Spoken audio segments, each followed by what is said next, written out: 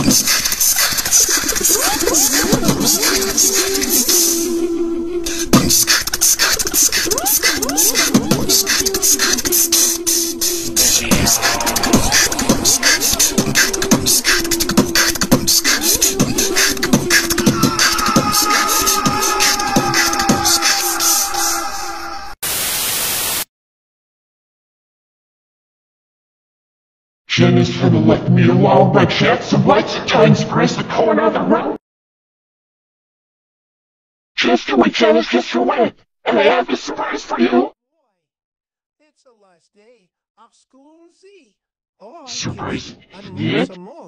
And this is You will have the same thing And Jennifer has is the faced and of by Janice, so you will be one of my people. You are right, Z. Summer vacation. And also Feed Fest is at home to get ready for summer. Come on, clock it summer. What are you waiting for? Meanwhile, I wonder Moose and Z you are. It's almost summer. It's 11th o'clock we better to get Moose and Z home. Oh well I just sit and wait. Ray clock, it's almost summer. Right, Miss Martin. Yes, Moose and Z, it's almost time. Yeah, about that. I'll be happy because school's over, right, Z? Yay, school's out. Last stop in the bus, it's a jellyfish. Goodbye, Miss Martin. Martin. Goodbye, guys. Have a good summer. See you next fall.